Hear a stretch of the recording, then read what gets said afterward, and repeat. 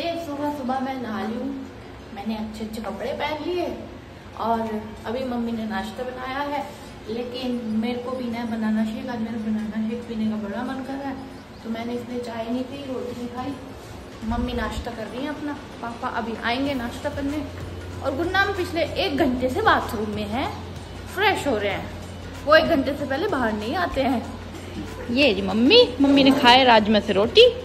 Mummy, आप कैसी हो? मम्मी मम्मी थोड़े से सूट दिला दो। नहीं मैं भी तो मांग के लाई थी। मैं उसकी माँ से लाई थी तू तो गाइस यार हम तो गरीब से आदमी हैं अभी मांग तंग के काम चला लेते हैं। तो जरा दिल पे ना लिया करो। अगर हमारे कपड़े आपको अच्छे लगते तो। एनीवेज अभी मैं जा रही हूँ अपना मैंगो शेक नहीं हाँ वैसे तो आम भी रखा है पर मुझे बनाना शेक पीना है सुबह सुबह यहाँ पे दूध ठंडा करने के लिए रखा था। चलो मैं बनाना शेक बना लूँ। पे आए हुए हैं मामा जी गुनाम के मामा जी आए हैं और उनके लिए भी मैंने बनाया है मैंगो शेक थोड़ा सा बचा है, लेकिन मेरा पीने का बिल्कुल मन नहीं है तो कुछ आएँगे तो पी लेंगे। और मामा जी इतने सारी सब्ज़ियाँ लाए हैं, दिखाती हूँ, देखो। ये देखो ये देखो, कितनी बड़ी थैली में भर के मामा जी करेले, तोरी और घिया लाए हैं। मामा जी खाने हैं हमें, बेचने थोड़ी ना जो आप इतने सारे लाए हो। हम कैसे खाएँगे? अब मम्मी हमें रोज तोरी, घी और करेले खिलाएँगी। और मामा जी लाए हैं। ये बच्चों के खाने के सामान, केले और सेब। तो अभी मैं जा रही हूँ पढ़ाई करने। उससे पहले मुझे ब्लॉग एडिट करके डालना है अपना। फिर पढ़ाई करूँगी मैं। तो चलिए आपसे मिलता है थोड़ी देर में। पढ़ाई मैंने कर ली है और अब मैं जा रही हूँ लंच करने क्योंकि मुझे बहुत तेज़ भूख लग रही है। पहले तो मैंने मौसमी खा ली थी। मुझे भूख नहीं लग रही थी लेकिन अब साढ़े बारह पौने एक बज रहा है। अब मेरे को भूख लग रही है।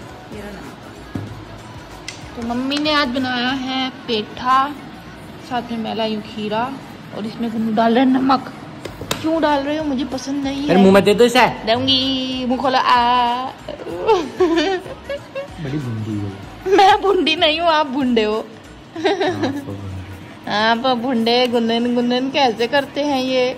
खाओ। हाउस इट कैसा है? टेस्टी टेस्टी मील और ये देखिए, हमारे घर पे आज कितनी सारी सब्ज़ी आई हैं।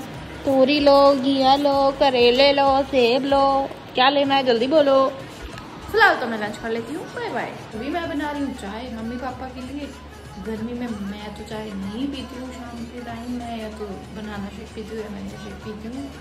अगर नहीं कुछ भी अवेलेबल होता तो फिर मैं कुछ भी नहीं पीती हूँ, फिर मैं कुछ खा लेती हूँ। तो अभी मैं पढ़ रही थी तो फिर मम्मी ने बोला, चाय बना दे तो मैं चाय बना रही हूँ। और गर्मी अब इतनी ज़्यादा है ना मतलब कूलर के सामने बैठ के भी गर्मी लग रही है। मैं बोलने वाली थी, ठंड लग रही है। तो चलो मैं मम्मी पापा को चाय दे आऊँ बना के और फिर मिलती हूँ आपसे।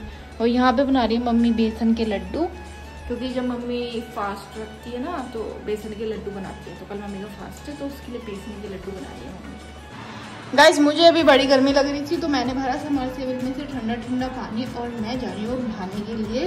तो दो मिनट में आती हूँ, फिर आके करेंगे कुछ skin care as I promised तो चलते हैं अभी नहाने। मैं नहा कर आ गई हूँ और अब मैं स्किन केयर करने जा रही हूँ। मैं लेकर आई हूँ आज देखो शुगर और टमाटो ये बहुत अच्छा एक्सफोलिएट करता है आपके फेस को। मैं बाहर के स्क्रब जो है वो बहुत कभी कभी यूज़ करती हूँ। ये बहुत अच्छा स्क्रब है आपके फेस के लिए एंड पिगमेंटेशन को भी रिमूव करता है टमाटो तो चलो अपने फेस को एक्सफोलिएट करते हैं फटाफट से। टमाटो कहाँ पर है बड़ा ये रहा। और इसको अपने फेस पे ऐसे ही मसाज करनी है दो मिनट। क्या हुआ? गाइस, गुन्नू का फ़ोन हीट हो गया। गाइस, ऐसे ना मुझसे हो नहीं पा रहा तो मैं पहले स्क्रब कर लेती हूँ।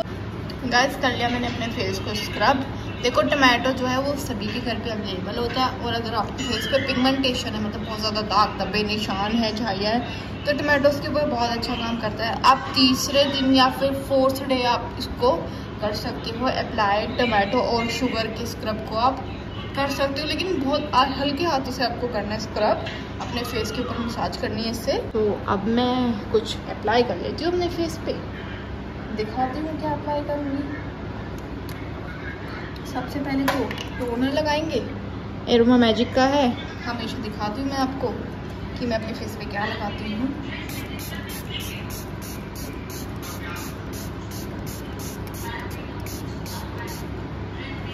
देखो, ज़रूरी नहीं है जो मैं लगाती हूँ, वही आप लगाओ।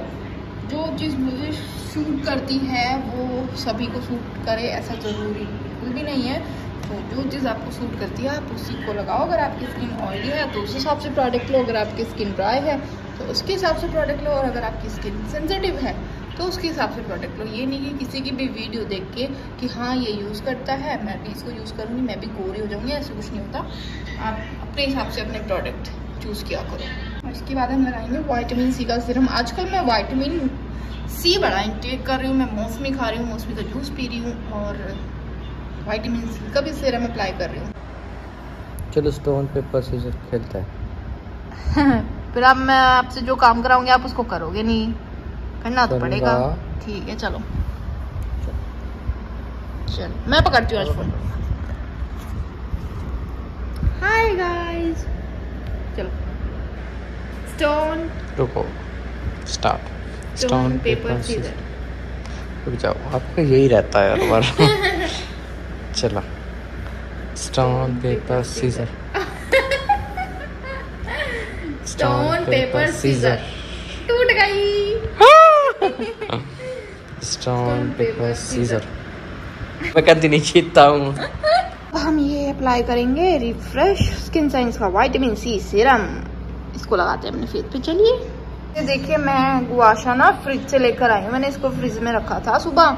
जिससे कि ठंडा हो जाए और ठंडे ठंडे गुआशा से गर्मियों में मसाज करने में मज़ा ही आ जाता है।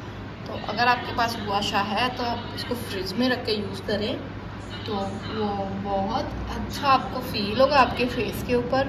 और अगर आपके पास गुआशा नहीं है तो मेरे पास एक एक्स्ट्रा आप मुझसे ले सकते हैं। ਸੱਜਣਾ ਦੇ ਆ ਗਈ ਤੂੰ ਪਸੰਦ ਦੀ ਸੋਹਣੇ ਦਾ ਕਰੇ ਵਾਲੀ